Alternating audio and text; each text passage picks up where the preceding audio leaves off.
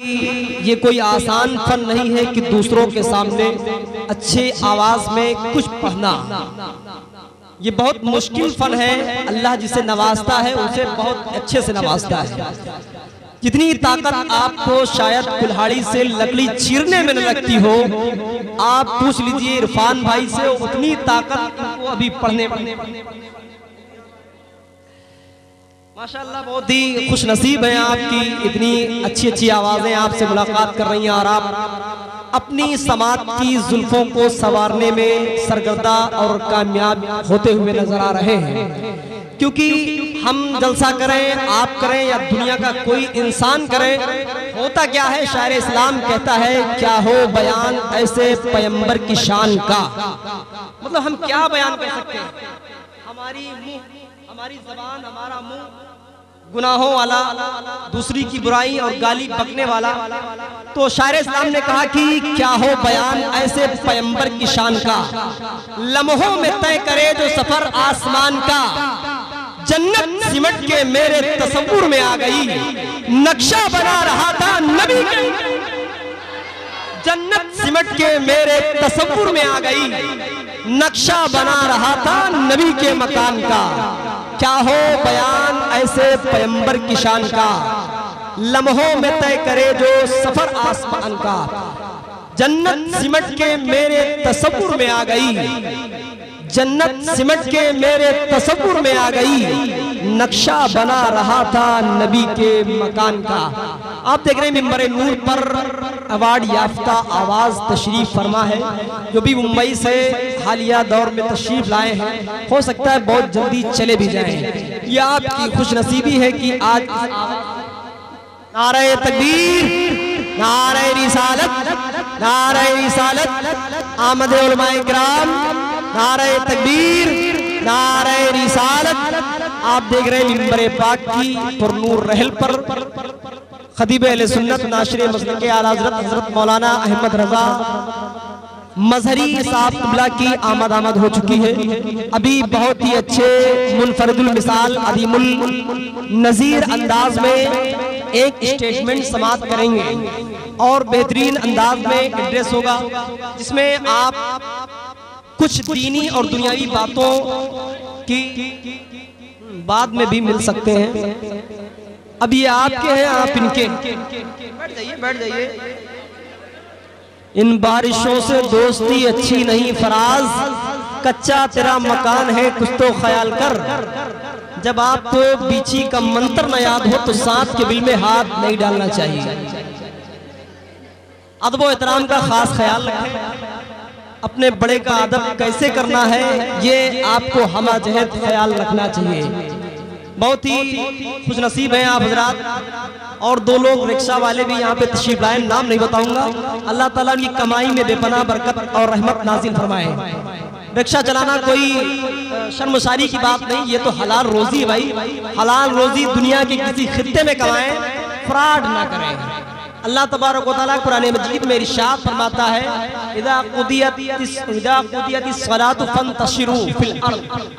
यानी जब नमाज़ मुकम्मल कर लो तो ज़मीन में फैल जाओ, अल्लाह का रिस्क तलाश करो। बहुत ही मुबारकबाद के लायक हैं आप बिबियापुर की सरजमीन से चलकर इस दयारे मोहब्बत में तशरीफ़ लाए। और कुछ लोग मीरापुर से आए हैं, मदारपुर के तो आई हैं बहरहाल, लेकिन ये ऐसी जगह पे है, न मीरापुर में है, न मदारपुर। डिवाइडर एकदम मिला हुआ है। सारा मजमा जी लगा के कहते यार रसूल अल्लाह और बुलंद आवाज़ से कहते यार रसूल अल्लाह अब देखिए हुजूर का कलमा अपने भी पढ़ रहे हैं गैर भी पढ़ रहे हैं और हुजूर की तारीफ़ हम लिखें तो लिखें। लेकिन जो हुजूर का कलमा ना पढ़ रहा वो भी हुजूर की तारीफ़ करें। बड़े बड़े हमने जिन्हें आप धर्म गुरु कहते हैं उनके लबों से और बेहतरीन अंदाज में उन्होंने लिखा भी अपने कलम से। और बहुत ऐसे लोग हिंदुस्तान की सरजमीन पर संजीदा मिजाज के और फ़िक्र के लोग पाए जाते हैं, जिनके अंदर भाईचारी का चश्मा मिसले आफ्ताबो महताब की तरह रोशनो मुजल्ला रहा करता है। मैं उनके इस भाईचारे को सलाम करता हूँ और सरे तस्लीम खम करता हूँ कि ऐसी भाईचारगी हर जगह और हर तरीके से बनाए रखने की हमें और आपको सोचो फ़िक्र और गौरव फ़िक्र करने की अल्लाह तौफीक रफीक फरमाए एक शेर सुनने जो मुस्तफ़ा का नहीं है लेकिन कुछ यहीं के लोग कलमा पढ़ के फिर कहते हैं मुस्तफ़ा की शान में बेदबी और गुस्ताखी करते हैं। अगर हम आपसे मोहब्बत करने का दावा करें फिर आपकी हम कमियाँ तलाश करें तो फिर आप अधूरे हो आप मुकम्मल नहीं। यानी जो जिससे मोहब्बत करता है उसमें ऐब जो ही नहीं करता उसे ऐब नज़र ही नहीं आता। कितना भी बड़ा काला इंसान हो अगर आपकी मोहब्बत उससे हो चुकी है तो फिर वो काला काला नज़र नहीं आता है वो तो सिर्फ़ आपको महबूब नज़र आता है। लेकिन आइए देखिए कुछ लोगों ने अपने कलम से भी लिखा और कुछ लोगों ने कहा भी। उसका जवाब अहले सुन्नत ने कलम से भी दिया है और इंशाअल्लाह सुबह कयामत तक देते हुए नज़र आए। जरा मजल के कहते हैं सुबह अल्लाह शेर को सुने कि जो शख्स मुस्तफ़ा को मानता नहीं वो इंजीनियर हो डॉक्टर हो वकील हो मुफ्ती हो काजी हो मुहदस हो मुकर्र हो कुछ भी हो जाए। लेकिन शेर सुनिए जो मुस्तफ़ा को मानता नहीं जो शख्स मुस्तफ़ा को मानता नहीं, वो शख्स बेवकूफ़ है, कुछ जानता नहीं। जो शख्स मुस्तफ़ा को मानता नहीं, वो शख्स बेवकूफ़ है, कुछ जानता नहीं। तुम हाल उसका देखना मैदान हश्र में, आका कहेंगे, मैं इसे पहचानता नहीं। तुम हाल उसका देखना मैदान हश्र में कहेंगे, मैं इसे पहचानता नहीं। बड़ी तेरी ये साथ वो बेहतरीन कोहना साज और कोहना लबो लहजा अली जनाब मद्दाई खलीलाम हाफिज कारी रिजवान अहमद साहब तशीफ फरमा है आवाज़ उनकी मुतासिर है। खुद से ऐलान कर दूँ, वरना ये ना कहने पाए कि हाँ आवाज़ अच्छी थी या नहीं थी। आवाज़ बराबर नहीं रहती है कभी तबीयत कभी फ़र्क होता है। इस ख्याल के साथ आप स्टेज पर तशीफ फरमा है मैं पर तशीफ आए कि हर मरज में काम आता है, शिफा के वास्ते। नुस्खे नायाब है, रद्द बला के वास्ते। आला हज़रत का ये शजरा रोज पढ़ना चाहिए। या इलाही रहम फरमा मुस्तफ़ा के वास्ते। या इलाही रहम फरमा मुस्तफ़ा के।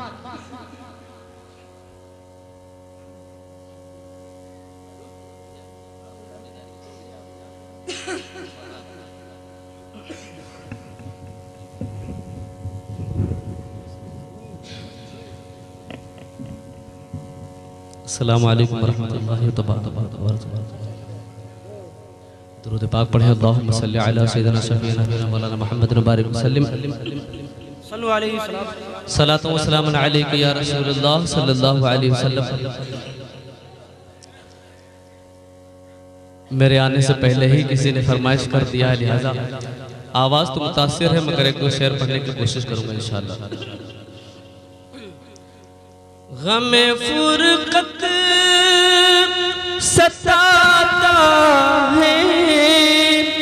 तूने नारोने लगते गम फुरकत सताता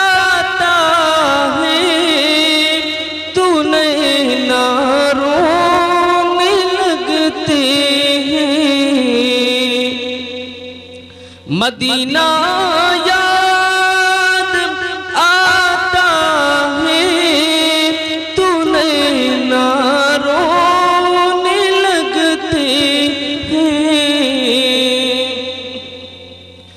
बहुत मजबूर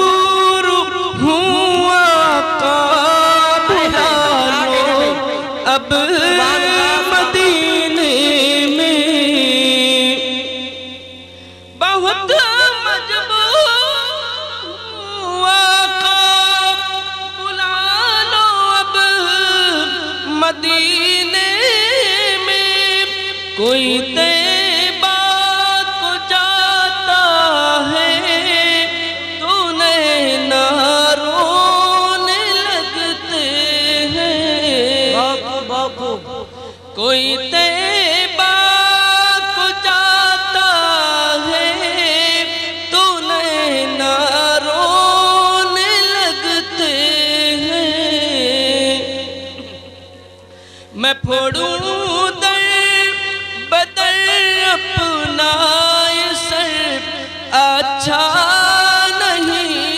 लगता, मैं फोड़ू दई बदर अपना सर। अच्छा नहीं लगता, बुला लीजिए मदीने में। इधर अच्छा नहीं लगता, मैं फोड़ू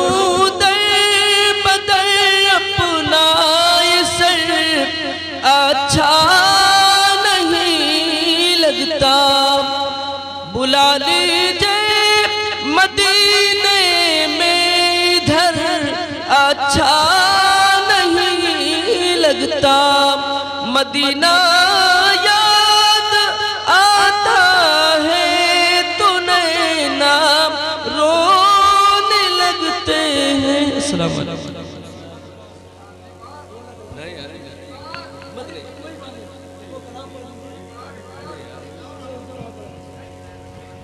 અરે પણ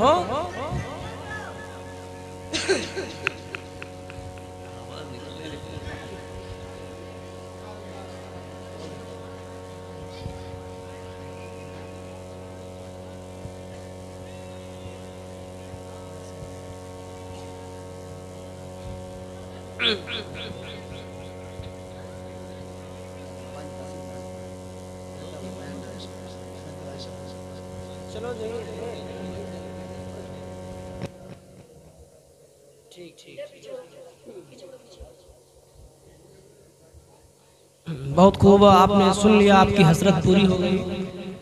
वरना मैं तो यही कहता कि इतना चाहो कि जी बहल जाए इतना बिना चाहो कि दम। है? हाँ, इतना चाहो लोग खाने। हाँ, उलमाए कराम को एक एक मामा गिफ्ट में दिया जा रहा है। और अच्छा एक एक सबको दिया जा रहा है यही पे बांधेंगे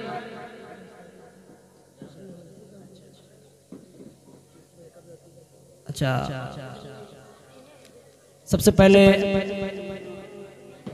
हज़रत हाफिज़ मोहम्मद अब्दुल हसीब हाफिज़ी खदीब इमाम, बिलाल मस्जिद बिबियापुर उनको इमामा दिया जा रहा है। और उसके बाद में इन्हीं के नाम के हम नाम अली जनाब हाफिज़ अब्दुल हसीब साहब हाफिज़ी खतीब इमाम, रानी कटरा की मस्जिद उन्हें दिया जा रहा है। और एक के बाद दिगरे कारी सरफराज आलम साहब, किबला, ये मदरसे की जानब से आपको गिफ्ट किया जा रहा है। मौलाना अब्दुल कलाम साहब, कारी अब्दुल कलाम साहब उनको भी दिया जा रहा है। और साथ ही साथ हाफिज रिजवान साहब, मुफ्ती मोहम्मद अहमद अजा मजहरी के हाथों मुफ्ती अली मोहम्मद गौस को साफा दिया जा रहा है और साथ ही साथ मौलवी साबिर साहब साफा ले लें। सबको एक एक साफा गिफ्ट किया जाता है। बहुत अच्छी चीज़ है ये। माशाल्लाह ये मोहम्मद इरफान साहब को गिफ्ट किया जा रहा है। ये मैं खुद हासिल कर रहा हूँ। हाँ देख रहे हैं। कि माशाल्लाह जैनुल भाई को भी गिफ्ट किया जा रहा है। सबको एक एक साफा दिया जा रहा है। साथ ही साथ मौलाना मोहम्मद अहमद रजा अच्छा अच्छा मुफ्ती साहब किबला का भी हिस्सा है और अल्लाह तबारक इस देने और लेने को कबूल फरमाए। क्योंकि देने और लेने से जो गिफ्ट दिया जाता है एक बात याद रखें वो गिफ्ट की चीज़ सस्ती हो या महँगी हो, गिफ्ट गिफ्ट होता है। गिफ्ट गिफ्ट होता है और गिफ्ट की अहमियत बहुत ज़्यादा होती है। क्योंकि गिफ्ट लेने और गिफ्ट देने से दोनों मोहब्बत पैदा हो जाती है। बिला किसी ताखिर के मैं दो तीन शेर के लिए हज़रत का हुक्म है कि ना शरीफ पढ़वाई जाए। मैं गुजारिश कर रहा हूँ मद्दाई नाम मोहम्मद इरफान साहब से कि माइक पर तशरीफ़ लाएँ और बेहतरीन लबो लहजे में दो तीन शेर पढ़ें और वक्त का ख्याल रखें। हमको भी कल शायद हाँ पढ़ाना है।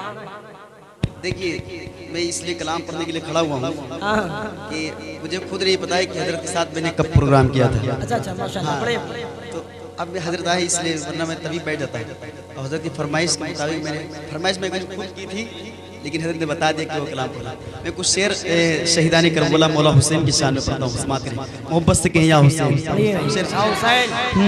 हुसैन लाजवाब है हुसैन लाजवाब है हुसैन लाजवाब है हुसैन लाजवाब है हुसैन लाजवाब है। वो कल्ब पे मिसाल था वो कल्ब पे मिसाल था वो कल्ब पे मिसाल था वो अब भी बेमिसाल है। हुसैन सभी लोग। हुसैन लाजवाब है। साहब शेर देखिए। हुसैन लाजवाब है। तू क्या समझ रहा है कि सजदा बचाएगा? तू क्या समझ रहा है कि सजदा बचाएगा? सजदा बचाएगा? नाना बचाएँगे या नवासा बचाएगा? हुसैन लाजवाब है। हुसैन हुसैन लाजवाब